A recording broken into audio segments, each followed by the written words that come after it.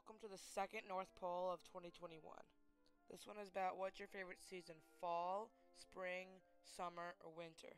You have until Thanksgiving or November 25th to vote. Just press the description, the link in the description to vote, and just select begin. So you don't have to put your email in, and there's a glitch where you have to put two different answers in. So just put your answer in twice. So press if you're doing winter, just press winter, next winter, and then submit, and then the, the winners will be announced the weekend after Thanksgiving. I hope you come vote and Merry Christmas.